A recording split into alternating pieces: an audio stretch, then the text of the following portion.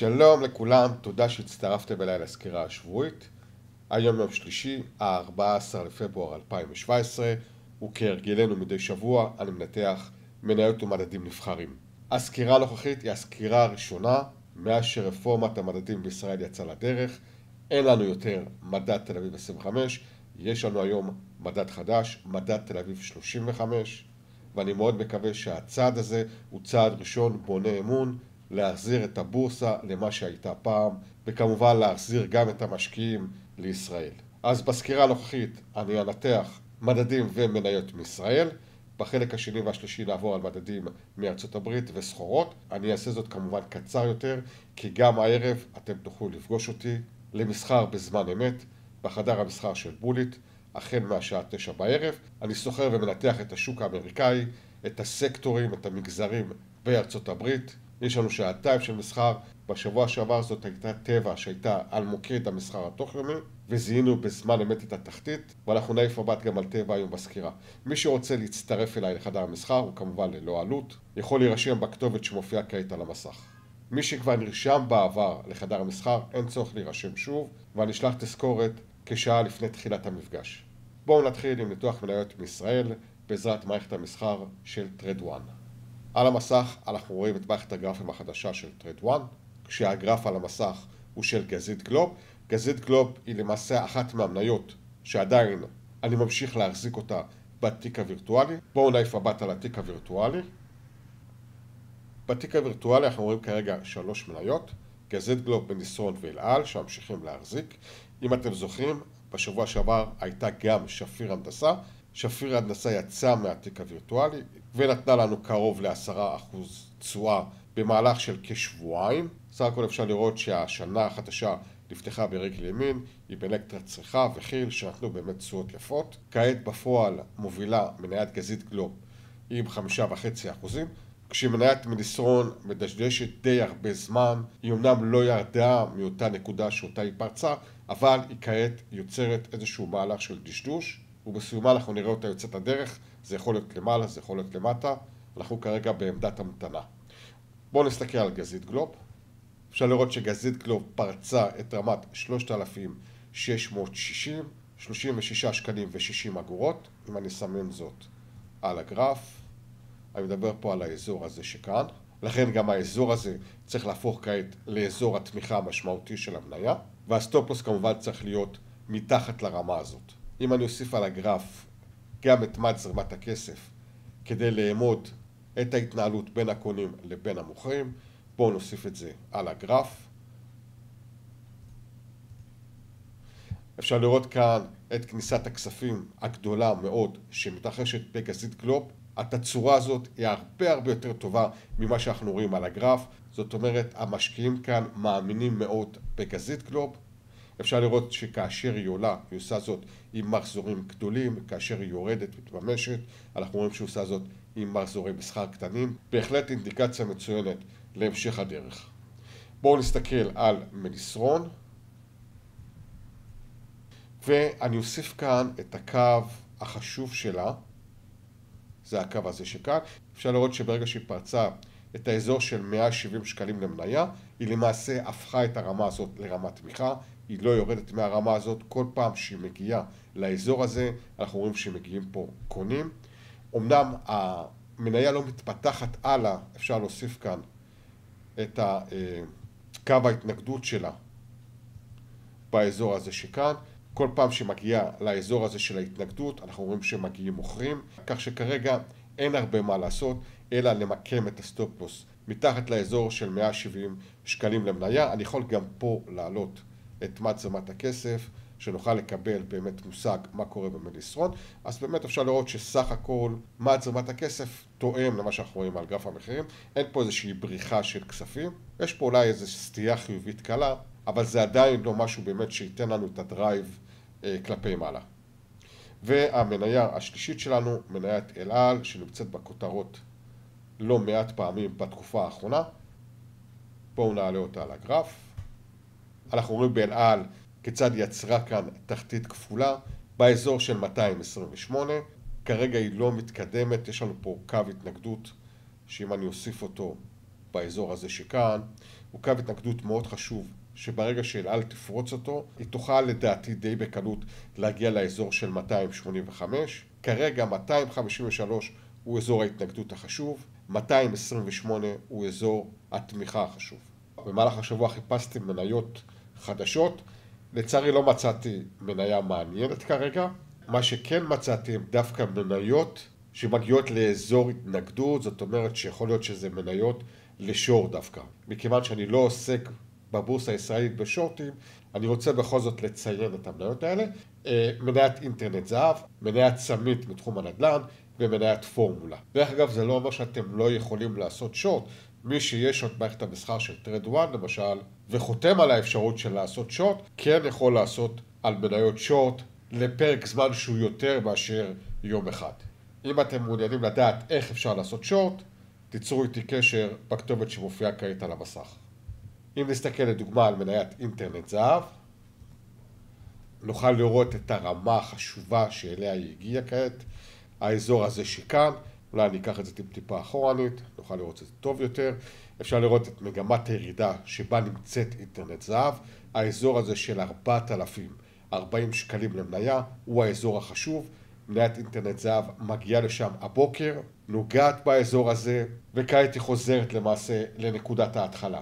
אם אני מסתכל על מניות שתוכנת מטאסטוק, שהיא התוכנה העיקרית שלי לחיפוש מניות, בעלות פוטנציאל או שנמצאות באיזשהו מצב קיצון, אז אני יכול להגיד לכם שהמניות שעלו ברשת החיפוש של MetaStock כמניות בקיצון אקסטרים, שאמורות לעשות פניית פרסה כלפי מטה. אני אסביר על הקיצון אקסטרים מאוחר יותר כאשר אנתח את מניית טבע. אז מי שנמצא כעת, המניות שנמצאות בקיצון אקסטרים הם פועלים ופרוטליקס. לגבי פרוטליקס, למי שזוכר, זיהיתי את נקודת השפל שלה, שהייתה בנקודת קיצון אקסטרים הפוכה, זאת אומרת שלילית, ככזאת שאמורה לעשות פניית פרסה כלפי מעלה. כעת היא נמצאת במצב קיצון כמניה שאמורה לעשות תיקון כלפי מטה. בואו נעבור עכשיו לניתוח מניית טבע, ומכיוון שטבע נסחרת בארצות הברית, אני אנתח אותה בעזרת תוכנת מטאסטוק. במניית טבע מה שמיוחד בה כרגע, שהיא נמצאת במצב מאוד מאוד קיצוני, ואני בודק את הקיצון של טבע בעזרת האינדיקטור True OBOS, ראשי תיבות של Overbot Oversold, קניות יתר, מכירות יתר, אינדיקטור מאוד מאוד אמין, וכאשר הוא נמצא בין הקווים הירוקים, זה מביא בדרך כלל לפניית פרסה כלפי מעלה, וכאשר הוא נמצא בין הקווים האדומים, זה מביא בדרך כלל לפניית פרסה כלפי מטה. כאשר הוא יוצא מהגבולות האלה, כמו שאנחנו רואים כאן, שהוא יצא מתחת לקו מספר 2, הקו הירוק מספר 2, זה אומר שהוא נמצא ב-oversold extreme, מה שאומר שהמוכרים הולכים ומתמעטים, לכן יש פוטנציאל לפניית פרסה כלפי מעלה, לא בגלל העוצמה של המניה, כי המניה מאוד חלשה, אלא דווקא בגלל מיעוט המוכרים, ומן הסתם ריבוי השורטיסטים במניה הזאת, יהיו כאלה שימצמצו ראשונים ולמעשה כדי לסגור את פוזיציית השורט שלהם הם רוכשים את המניה, מה שמביא את המניה לעלות. שוב פעם, לא בגלל שהיא חזקה, אלא דווקא בגלל שהיא חלשה. מה שהיה בחדר המסחר ביום שלישי שעבר, אנחנו רואים את זה כאן, את הירידה כאן של טבע, ירידה של 6% בעקבות ההתפטרות של מנכ"ל טבע. ראינו אותה שוב פעם מגיעה לאזור של 32 דולר למניה, אפילו טיפה מתחת לזה. זה אומר שמבחינת הסוחר, מחיר הטעות פה היה מינימלי ביותר. אני מדבר כמובן על האזור הזה שכאן. אנחנו רואים את מספר הפעמים שטבע נשענת כאן באזור של 32 דולר למניה, ומלמעלה אנחנו רואים את רמת 35 דולר כרמת ההתנגדות החשובה. אפשר לראות כאן את התמיכה, את השבירה ואת הבדיקה של הרמה הזאת כרמת התנגדות. זאת אומרת, טבע נכנסה כעת לאיזשהו תהליך של דשדוש, תהליך של יצירת סיבה, בין אם לעלייה כלפי מעלה עם פוטנציאל מאוד מאוד גבוה, אני מדבר על האזור שבין 40 ל-50 דולר, לבין עם המשך ירידה כלפי מטה, כעת זה המבחן האמיתי בין הקונים לבין המוכרים, האם יש כאן בסיס שממנו טבע יכולה לצאת כלפי מעלה ולבצע את התיקון לאחר ירידה כל כך גדולה. אני יכול להגיד לכם שבאופן אישי אני נכנסתי לטבע במהלך התקופה האחרונה, שש פעמים מתוכם ארבע פעמים הצליחו, שניים לא, מהסיבה המאוד פשוטה, מי שנכנס לטבע אמור לשים סטופוס מאוד מאוד קצר. לכן לצורך העניין, לדוגמה, כניסה באזור הזה שכאן, אזור 35 דולר, שהוא אזור חשוב גם היסטורית, נתן לנו מחיר טעות מאוד מאוד נמוך ולקבל כאן את כל העלייה הזאת. לאחר מכן כניסה באזור הזה שכאן שוב פעם בגלל רמת 35 עם מחיר טעות מאוד נמוך אבל הנה ההפסד כפי שאנחנו רואים כאן הפסד מאוד מאוד קטן וגם כאן כניסה חוזרת עם מחיר טעות נמוך אזור 32 דולר. וכאן אנחנו רואים שזה מוצלח. שוב פעם בנקודה הזאת גם כאן זה מוצלח. כך שטבע כעת זאת לא מניה להשקעה לטווח ארוך שאנחנו מדברים בדרך כלל שאנחנו מדברים על טבע. כרגע טבע היא למעשה למסחר תוך יומי או למספר ימים בודדים. וזאת בגלל המצב הקיצוני שבו טבע נמצאת, אני הראיתי לכם את זה גם בניתוח הקודם, שהמצב שטבע נמצאת בו כעת, ראינו אותו בפעם האחרונה בשנת 2002, זאת אומרת לפני 15 שנים טבע הייתה במצב הקיצוני כפי שהיא נמצאת בו היום, ועל זה אפשר למעשה לרכב לטווח מאוד מאוד קצר. בואו נעבור כעת למדדים ונפתח עם המדד החדש מדד תל אביב 35. בשבוע שעבר דיברתי על מדד תל אביב 25, היום מדד תל אביב 35, כשאנחנו רואים איזה שהם סימנים, או בפעם הראשונה סימן חיובי, שלא ראינו אותו בפעמים הקודמות, ואני מדבר כמובן מתחת לפני השטח, דרך מחזורי המסחר, ראינו איזושהי כניסת כספים, משהו שמזכיר את מה שקרה בדקס הגרמני לפני כחודשיים, אם אתם זוכרים. הדקס הגרמני היה במהלך של דשדוש של כחצי שנה, ובמהלך השבוע האחרון שם ראינו כיצד נכנסים יותר ויותר קונים, ועוד לא ראינו זאת על הגרף. ראינו סימן מאוד מאוד חיובי, לאחר מכן כמובן הכל היסטוריה, הדקס הגרמני פרץ בצורה מאוד מאוד מרשימה. מה שאנחנו רואים פה על מדד תל אביב 25 די מזכיר את התקופה ההיא בדקס הגרמני. אפשר לראות כאן את כל מהלך הטשטוש שהוא דשדוש מאוד מאוד רחב בין רמת 1380 הנקודות כתמיכה לבין רמת 1500 כהתנגדות כאשר יום חמישי האחרון היום של עדכון המדדים אנחנו רואים כאן מחזור מאוד מאוד גדול המחזור הזה מן הסתם מתווסף כמובן מבחינתי מבחינת מה תזרמת הכסף הוא מתווסף לצד של הקונים אבל גם אם אני אוריד את היום הזה גם אם אני אתעלם ממנו, אנחנו נראה שבימים שלפני כן הייתה כניסה יותר גדולה של כספים מאשר הייתה בפעמים הקודמות. האם זה אמור להשפיע על מי שמשקיע לטווח הארוך? ממש לא. כמו שאמרתי, כל עוד לא ראינו יציאה של מדד תל אביב 25, סליחה, אני כל הזמן מתבלבל, תל אביב 35, כל עוד לא ראינו את היציאה של מדד תל אביב 35 מתחום הטשטוש, אין למעשה, למי שסוחר לטווח הארוך, אין למעשה מה לעשות עם המדד הזה. למי שסוחר לטווחים יותר קצרים, אז בהחלט אפשר לראות, אם אני אתקרב, את הרמה החשובה כרגע, זו הרמה שכאן, כאן שימשה כהתנגדות, 1430, פרצה את הרמה הזאת עם פער פריצה, ואפשר לראות שבשלושת הימים האחרונים המדד נשען על הרמה הזאת כרמת התמיכה החשובה שלו. במידה ואנחנו נראה את המדד מחזיק מעמד מעל רמת 1430, אז היעד הבא שלו אמור להיות בין אזור 1460 לאזור 1470 הנקודות. אז אם נסכם את מדד 35, אנחנו יכולים לומר שבשבועיים האחרונים ישנה בהחלט מתחת לפני השטח איזושהי פעילות, פעילות חיובית, אבל עדיין זה לא מספיק כדי לקבל באמת החלטה, אבל עדיין זה לא מספיק, זאת בהחלט נקודה חיובית, אבל עדיין, עדיין לא מספיקה. בואו נסתכל על מדד הבנקים. גם במדד הבנקים העדכון של המדדים חיזק משמעותית את מעצמת הכסף, אבל כאן, להבדיל, היום הזה עשה באמת את ההבדל, כי לפני כן לא ראינו כניסה של כספים, נהפוך הוא, ראינו דווקא ירידה של כספים. לכן פה נטל ההוכחה על מדד הבנקים הוא הרבה הרבה יותר גדול מאשר על מדד תל אביב 35. מדד הבנקים, שהיה זה שמשך את מדד תל אביב 35 ומנע ממנו למעשה להיות במקום הרבה הרבה יותר נמוך בגלל ההשפעה של מניות הפארמה, מדד הבנקים כרגע נמצא קרוב מאוד לשיא שלו. אם אנחנו מותחים כאן את הקו, אני מדבר על האזור של 1622. אם אני מסתכל על ה-OBOS, אנחנו רואים שהוא קרוב למצב של קיצון, הוא עדיין לא במצב של קיצון. אם אני משווה את זה למגזר הפיננסים בארצות הברית, אז שם המגזר הפיננסים הוא הרבה הרבה יותר גבוה מבחינת הקיצון שלו, ואני אנתח את מגזר הפיננסים היום בערב בחדר המסחר. רמת ההתנגדות במדד הבנקים 1622, רמת התמיכה האזור הזה שכאן, אנחנו רואים איך הוא יצר כאן תחתית כפולה, אני מדבר על האזור של 1,550 הנקודות. בהחלט מעניין לראות כיצד התפתח מדד הבנקים מכאן ואילך ללא התוספת שראינו כאן ביום חמישי. בואו נסתכל על תל אביב 90, לשעבר תל אביב 75. תל אביב 90 ממשיך את העלייה שלו ונראה בהחלט מצוין אם אני משווה זאת לתל אביב 35 למדד הבנקים, תל אביב 90 נראה בהחלט הרבה יותר טוב.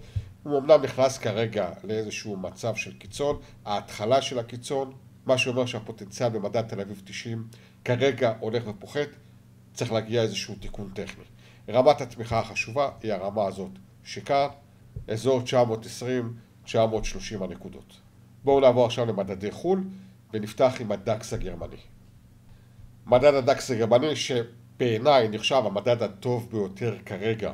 מבין המדדים שאני סוקר, יורד בשבוע שעבר לאזור של 11,500, האזור שאמרתי כאזור הראשון לתיקון הטכני, אני עדיין חושב שזה לא מספיק. אפשר לראות כאן על ה-OBOS שהוא נמצא כל הזמן בקרבת קיצון, הוא צריך לשחרר כאן לחץ כדי להמשיך אחר כך לרמות הרבה הרבה יותר גבוהות. אם אנחנו מסתכלים על מה תזומת הכסף, פנטסטי, אנחנו רואים שכל הזמן ישנה כניסה של כספים, סך הכל המדד הזה בהחלט מדד מצוין להמשך הדרך. בואו נסתכל על ה-S&P 500. ה-S&P 500 ממשיך צפונה, הראיתי לכם בשבוע שעבר כיצד זה נראה על כל ממדי הזמן. לא צריך לחפש ב-S&P 500 ולא בנסדק 100 ולא בדקס הגרמני, לא צריך לחפש כל הזמן היכן תגיע המפולת. כרגע לא רואים איזשהו סימפטום לדברים כאלה של מפולות. כמובן שאנחנו נראה תיקונים בהמשך הדרך, אבל זה עדיין לא מצב של לחפש מפולות. גם ה-S&P 500 כמו הדקס הגרמני נמצא כרגע במצב של קיצון, זאת אומרת הפוטנציאל להמשך הדרך הולך וקטן, אבל סך הכל בכל ממדי הזמן ה-S&P 500 נראה מצוין, הכל בסדר. אם נסתכל גם על הנסדק 100, נוכל לראות בדיוק את אותו דבר. ישנה כניסה של כספים, אנחנו רואים שבכל פעם שהוא פורץ איזושהי רמת התנגדות, הוא הופך אותה מיד לרמת תמיכה. הפעם האחרונה, אפשר לראות, היא הייתה כאן, באזור הזה, אזור 5087, פרץ את הרמה הזאת אפילו עם פער מחירים עולה, נשאל על הרמה הזאת בחזרה, בודק אותה כתמיכה ומכאן ממשיך הלאה. גם הוא נמצא במצב של קיצון ומן הסתם אנחנו צפויים לאיזשהו תיקון טכני בכל המדדים בחו"ל. בואו נעבור לחלק האחרון, לסחורות והמטבעות ונסתכל על הזהב. בזהב, כמו שאתם זוכרים, הגדרתי את המסלול שלו לפי שיטת גלי אליוט ולפי השיטה הזאת במהלך הירידה אנחנו צפויים לראות חמישה גלים, זה היה גל מספר 1, גל מספר 2 תיקן אותו, לאחר מכן גל מספר 3 כלפי מטה, אנחנו נמצאים או סיימנו את גל מספר 4 שתיקן למעשה את כל גל מספר 2 והוא אמור להגיע אל היעד שלו למטה לאזור של 1,050-1,100 דולר לאונקייה. שוב פעם זה רק סנאריו, הערכה, לא מעבר לכך. לכל אורך הדרך כאן הייתי בלונג על הזהב. בפעם הראשונה הוא זרק אותי באזור הזה שכאן, אזור 1190, שם מוקם הסטופלו שלי. לאחר מכן שוב פעם נכנסתי לזהב וגם פה, כמו שאנחנו רואים, הוא הוציא אותי בסטופלוס. שיערתי שאם הסצנריו הזה נכון, הזהב לא אמור לעלות מעל רמת 1240, אנחנו רואים כאן בצורה מושלמת כיצד הוא הגיע לאזור של 1240 ומכאן הוא התחיל להתממש. זה עדיין לא מספיק בשביל לקבוע שגל מספר 5 יצא לדרך או בכלל שהסצנריו הזה נכון. אם אני אתקדם לאזור האחרון נוכל לראות כאן בתוך המבנה הזה את רמת התמיכה שנמצאת כאן, אזור 1220, אנחנו רואים שהזהב נגע באזור הזה, חזר לעלות, לכן יש לנו פה שתי נקודות מאוד מאוד חשובות שייתנו לנו אינדיקציה להמשך הדרך.